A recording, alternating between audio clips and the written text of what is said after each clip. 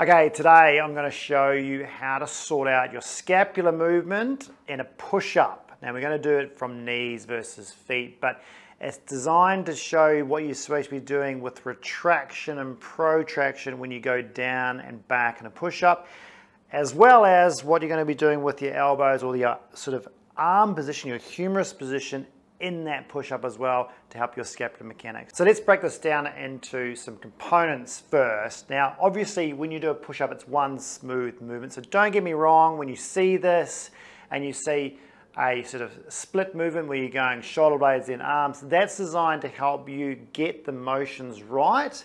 Then you've got to tie it all together. So watch the end of the video when I show you that when I tie it all together. But let's start off just with the components.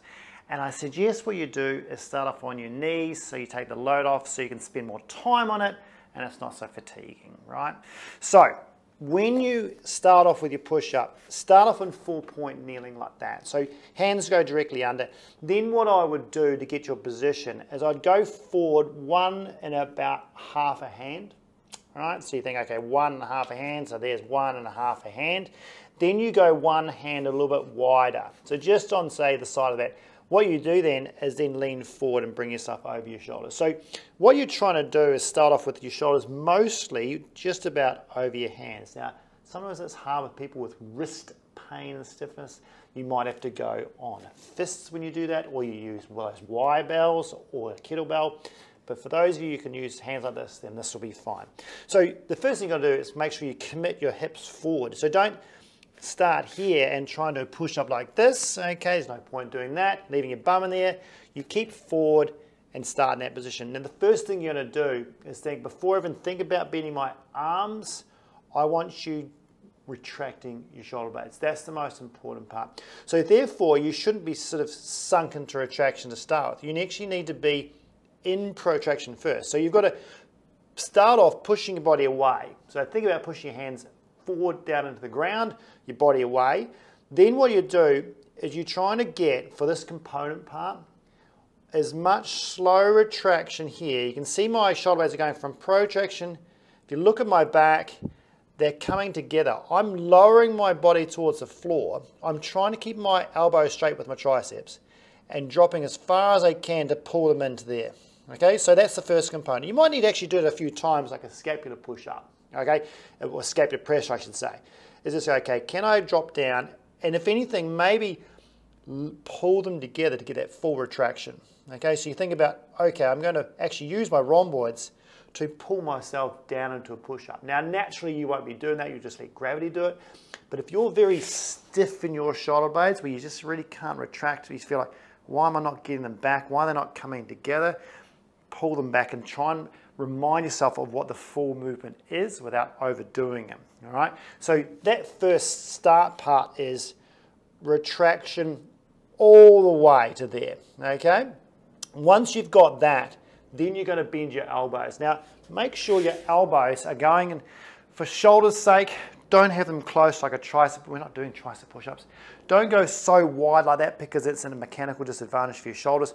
I would try and keep your, when you drop down, what should happen if your hands are the right width apart, you should naturally have like a 45 degree angle of that humerus down there, okay? So if you're from here, when I go into retraction first, when I drop down, those elbows are going out on an angle, do you see that? Okay, my hips are coming down, I'm going down as low as I can go, and then when I push away, I straighten my elbows first. So you got to think Retraction was the first part. The second part was bend your elbows, lower yourself down and make sure, like I said, you know, retraction, you're not leaving your, your, your bum there. You've got to lower your whole body down the plank, okay, as I go.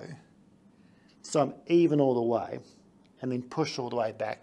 When you get your elbow straight again, then you finish it off with protraction, okay? Just like you started.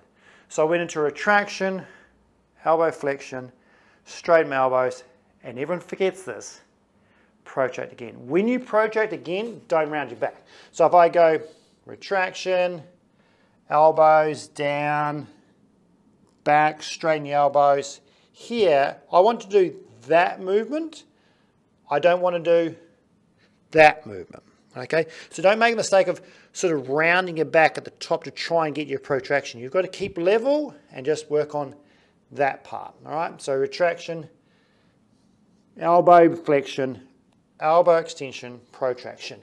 So make sure you try and do it in those components. It'll also help you with any of that scapular wing or serratus anterior strengthening that you've lost because you're now incorporating serratus anterior work into your push-up, which is really important.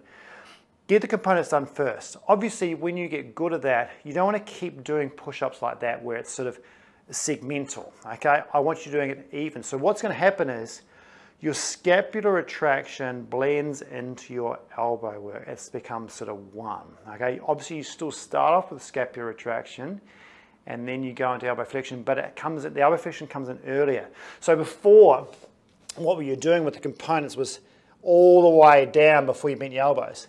Now what I want you to do is start bending your elbows, sort of not at the start, but retract first, but as you start retracting halfway, then you can start bending elbows. You just got to make sure when you bend your elbows, you keep retracting. So by the time you get to the bottom, you're fully retracted, and then the reverse happens. When you push away, you're trying to protract as you go away. So when you get your elbows to the top, you are fully protracted. So think of the opposite. When you came down, so think of, this is the best way to explain it. When you go that way and there, you are now going retraction in elbows, and so by the time you get to there, you're fully retracted. When you push away, you try and think, I've got to protract, protract, protract, protract, protract, protract, protract. So when you get your elbow straight, you are fully protracted, okay? Because a lot of people forget that last protraction part and then they end up by the sort of 10th rep or so, and sometimes this is due to load, they stay in retraction, okay? So they go, they might start off here and go, oh, I'm protracted, right? And they end up going to retraction and then they just stay in retraction, okay? So you can see that, they just stay in retraction like that. And they just do, start doing push-ups like this, being in that position, okay? And just doing that work, which is very similar to a bench press. Now, we want to activate our serratus, so you're not going to get any serratus work done if you do that, all right? You've got to go into protraction. Just make sure it happens from this bottom and you push through and you'll probably end up with a stronger push-up. It is harder, yes, but it's way better for your shoulders and way better overall sort of strength in that push-up. So, see if you can work on that. Start off with your components, then work through getting the movement pattern all smooth in one go, then go onto your feet. Okay, so do this all on your knees, get it perfect, get your shoulder happy, get all that movement right, get your core position right with your back, and then find, you know, when you put the load on, can you maintain all those great movement patterns? Hope that helps. See you next time.